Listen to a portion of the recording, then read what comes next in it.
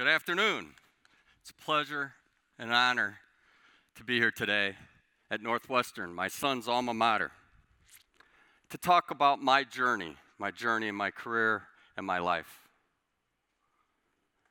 And it's really not that remarkable, but it has taken some twists and turns I never really would have thought about.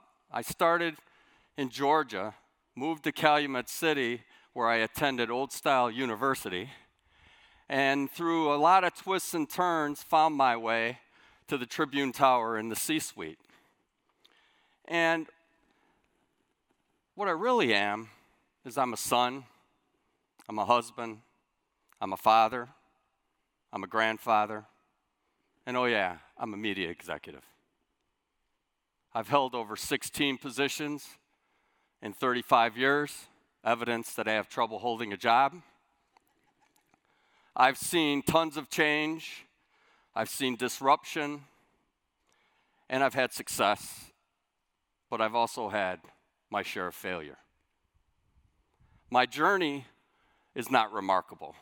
Unique, probably. Remarkable, not. My name is Tony Hunter. I truly believe that this presentation, it's not where you start, but where you finish, has been the motto and the principle that I've lived by.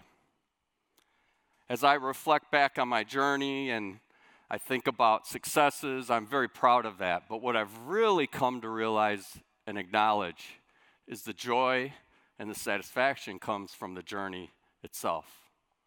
And my journey has had a lot of starts and stops, plenty of chapters, and as I said, not all successful chapters. So today, what I'd like to share with you are the lessons I've learned from the best school you could ever attend the School of Hard Knocks. And in these lessons, I'm hopeful, regardless of where you're at in your journey, whether at the beginning, the middle, or the end, that maybe you can find a few of these and help you navigate your way through. I also hope there's a bit of inspiration in my message. Inspiration that it's possible to achieve greatness, achieve success, however you define that success.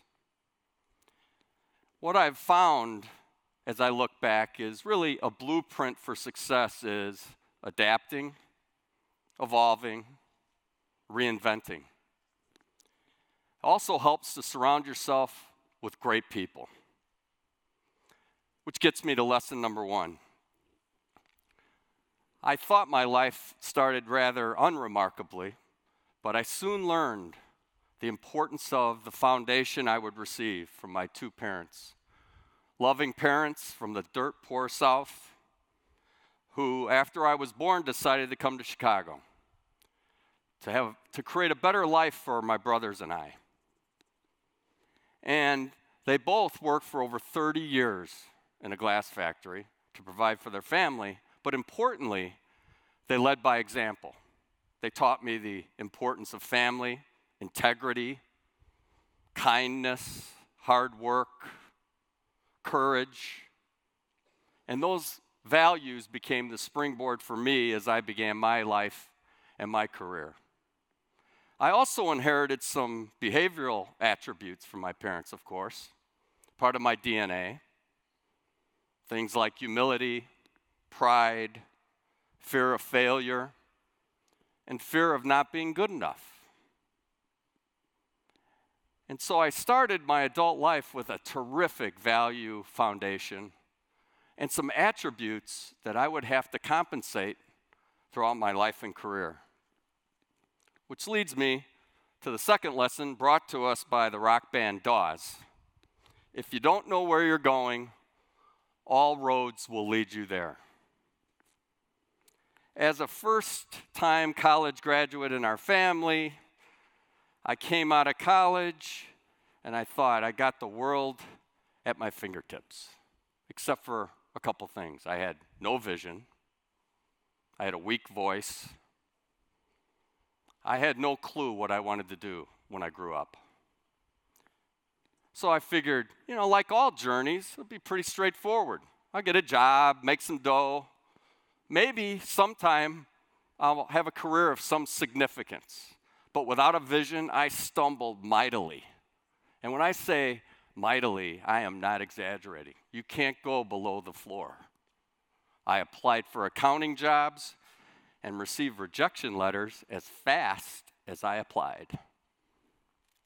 Self doubt started to creep in, doubts about my self worth, whether I had what it takes to be successful, and whether I could meet the high expectations of my parents. Fortunately, I didn't stay down, I rebounded, which brings me to lesson number three. Failing is not falling down, it's staying down. So, in this chapter of my life, I was at my worst. I met my wife to be when she was at her best. Great match. After repeated attempts and rejections, there's a pattern forming here.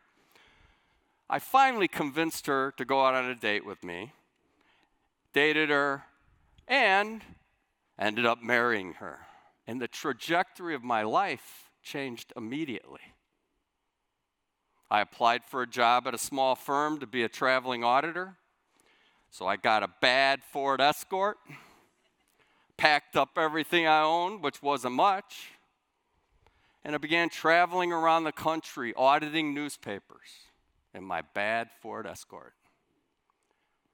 And I was all alone on the road, and what clearly became apparent, and I realized, wow, this is why they call it work. So I got to work. I worked hard. I started to see some success. But I looked around and I said, boy, do I have to grow. I am limited in my capabilities, which leads me to lesson number four. Breakthroughs are right around the corner. Boy, don't we wish we could see them coming, right? But in looking back, what I realize is breakthroughs occur when circumstances, opportunity, and preparedness converge and collide. We all know we can't predict the future, there's too much uncertainty in the future. And so, what this lesson teaches me is to be current, to be relevant, and to build a deep, broad toolbox that prepares you for what the future will bring to you and the opportunities you will be afforded before they come. To be a lifelong learner.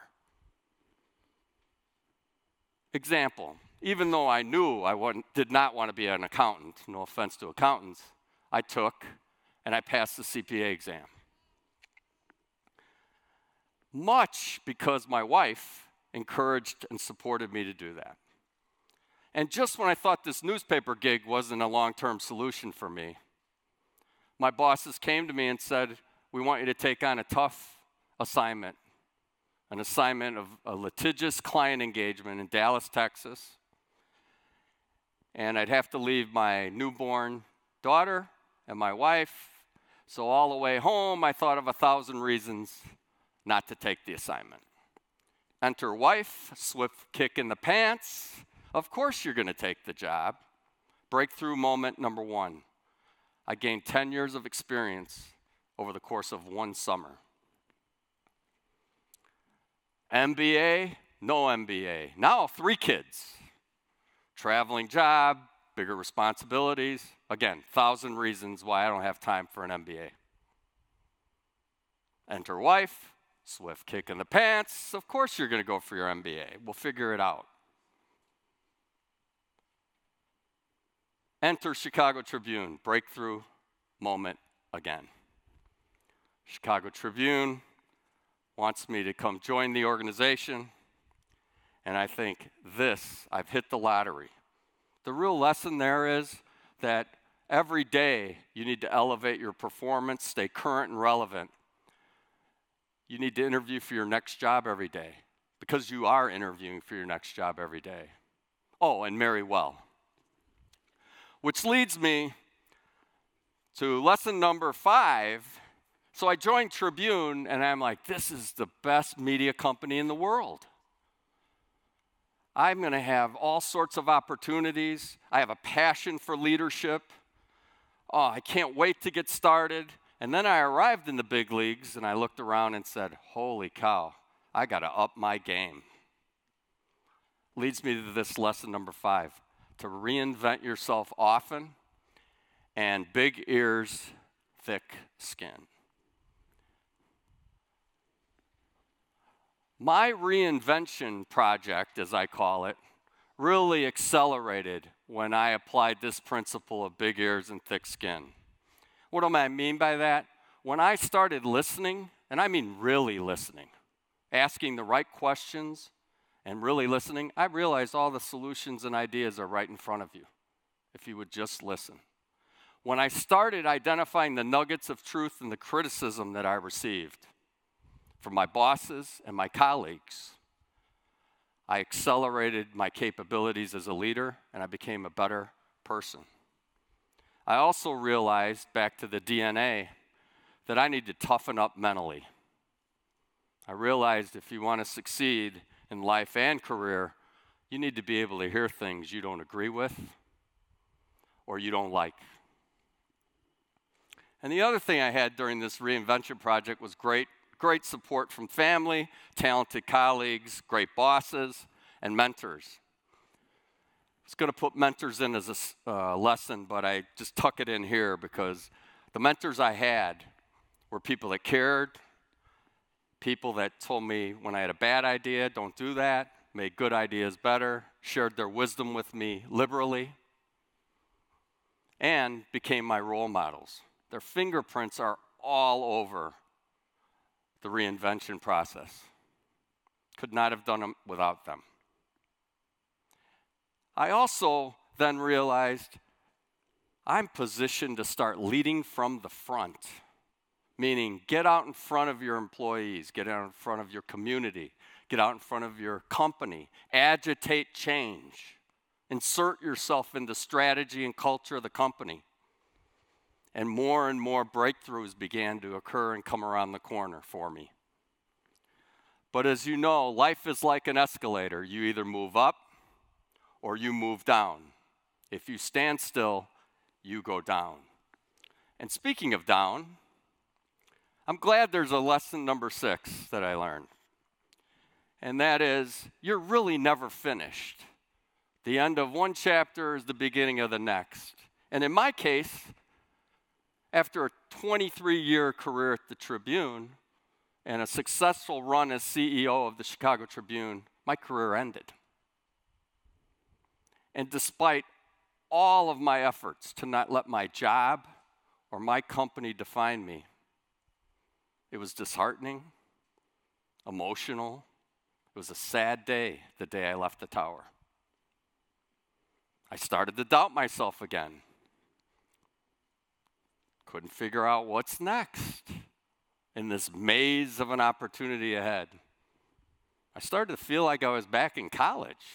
Same feeling of doubt. But like most of the time in my career and life, I've been blessed with breakthrough moments. Another breakthrough occurred, and I got a new title Grandpa. A, a title that I am highly qualified for. And unlike all the other positions that I've held, I'm going to hold on to this one for a long time. And what has happened as a result of the birth of my two grandsons is it's inspired me again. It's inspired me to begin my next chapter, the next chapter in my career. So I formed my own company. It's going to focus on advising clients on how to thrive in disruptive times, and importantly, I want to focus on developing emerging leaders. Leaders that want to lead with authenticity. Leaders that care about people and results. Leaders that are compassionate and driven. And leaders that understand their primary job is to create an environment where people can do their best work. And when I think about that next chapter, it brings me back to where I started, which is the road to success is not a straight line.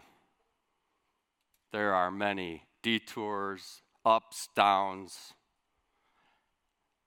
But the key is to stay focused on three things back to adapting, evolving, and reinventing. And regardless of how you define success, I believe if you use this blueprint, you can achieve whatever goals you set for yourself and your family. I'm very excited about the next chapter in my journey, so I'm going to end where I started. It's not where you start, it's where you finish. And I'm finished for now. Thank you.